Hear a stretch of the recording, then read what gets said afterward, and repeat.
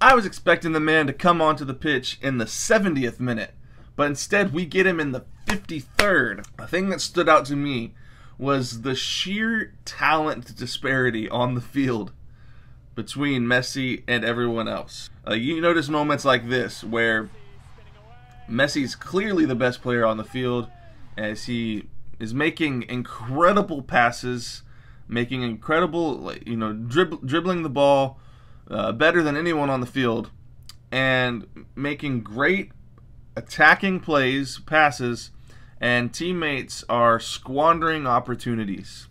One of the things that I noticed in the match was that um, anytime the ball would come to Messi, there was going to be two or three players that would um, swarm him immediately. They were going to press and try to make him turn the ball over um, immediately. They were not letting him just roam free that often.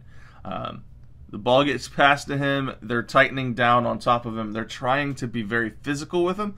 I noticed that uh, they were more physical with Messi than they were with anyone else, which I think is probably normal to um, be very physical with another team's uh, best player. I see them do it with Erling Haaland in in the um, Premier League.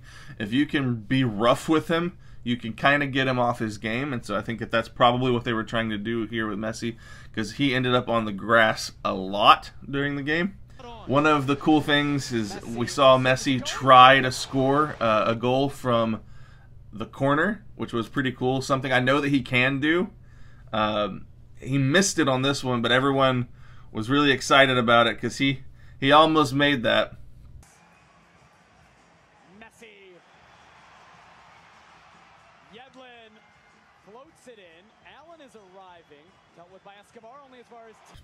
And on that play, one thing we got to see was the um, the difference in the level of passing from two legends like Messi and Busquets.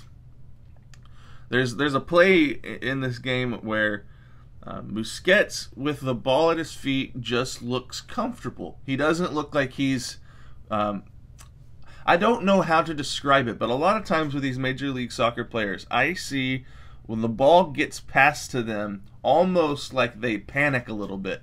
It's like, okay, I got the ball. Where, where, where have I got to go? What have I got to do? Whenever the ball gets to Sergio and it's at his feet, He's calm, he's collected, he's surveying, he's analyzing the field.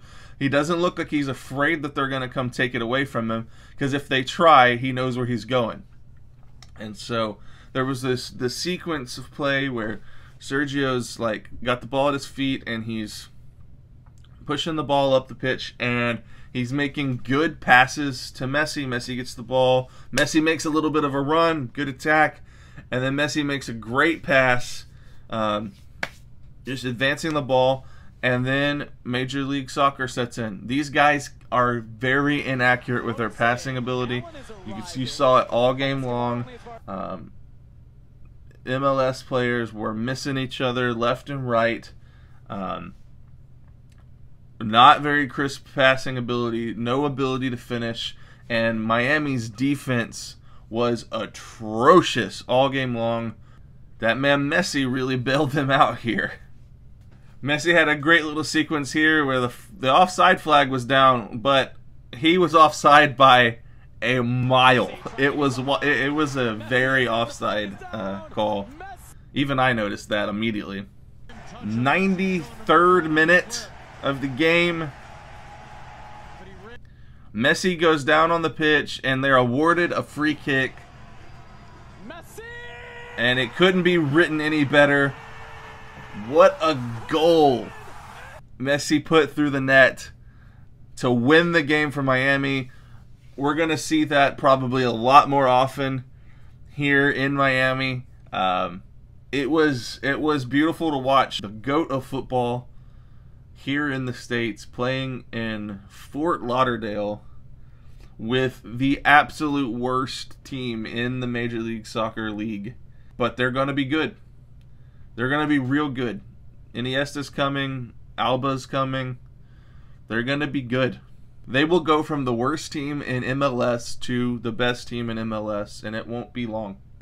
That being said, thank you for clicking on this video. Thank you for watching this video. And uh, if you like my content and you've been watching all my videos, why don't you just subscribe to the channel? I'd appreciate having you here on the road to 20,000 subscribers. That's crazy to me. We're almost there. Help me get there. Go ahead and subscribe to the channel and turn on that notification bell. And I'll see you guys in the next video.